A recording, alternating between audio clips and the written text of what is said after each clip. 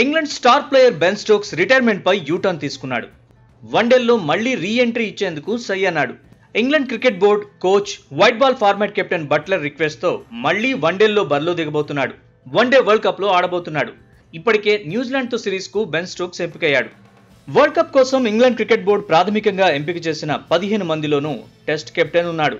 Ben Stokes ఎంట్రీతో England జట్టు strong కాబోతోంది. భారత్లో జరిగే మెగా ఈవెంట్లో ఈ స్టార్ ఆల్రౌండర్తో ప్రత్యర్థులకు డేంజర్ తప్పదనే అంచనాలు ఊపందుకున్నాయి. నిజానికి ఆల్రౌండర్గా అంతర్జాతీయ క్రికెట్లో బెన్ స్టోక్స్ తనదైన ముద్ర వేశాడు. బ్యాటర్గా బౌలర్గాను మరో లెవెల్ చూపించాడు. రెండు వేల పంతొమ్మిదిలో England one day world cup గెలవడంలో కీలక పాత్ర పోషించాడు. ఒత్తిడిని ఎదుర్కొని పవర్ చూపించాడు. గతేడాది టీ ట్వంటీ వరల్డ్ కప్లోనూ బెన్ స్టోక్స్ అద్భుతంగా రాణించాడు. ఇంగ్లాండ్ను ఛాంపియన్గా నిలబెట్టడంలో స్టార్ ప్లేయర్ రోల్ మరవలేంది. టైటిల్ పోర్లో బెన్ స్టోక్స్ ఒకే ఒక్కడు అనిపించుకున్నాడు. పాకిస్తాన్ను కంగు తినిపించడంలో కీలకంగా నిలిచాడు.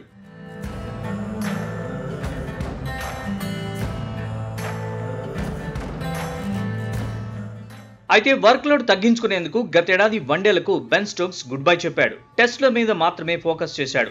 బజ్బాల్ ఫార్ములాతో ప్రత్యర్థుల్ని బెంబేలించడంలో సక్సెస్ అయ్యాడు. టెస్టుల్లో ఇంగ్లాండ్ దూకుడు చూపేలా వ్యూహాలు అమలు చేస్తున్నాడు. టెస్ట్ కెప్టెన్గా ఇప్పటికే సూపర్ అనిపించుకున్నాడు. అయితే వన్డేలో బెన్ స్టోక్స్ సేవల్ని ఇంగ్లాండ్ మిస్ అయింది. మరోసారి వన్డే వరల్డ్ కప్ గెలవాలంటే జట్టులో స్టార్ ఆల్రౌండర్ ఉండాలని ఇంగ్లాండ్ క్రికెట్ బోర్డు ఆలోచించింది.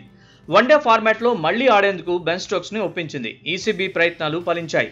తాజాగా the big man is back అంటూ ఇంగ్లాండ్ క్రికెట్ బోర్డు చేసిన ట్వీట్ సోషల్ మీడియాలో వైరల్గా మారింది.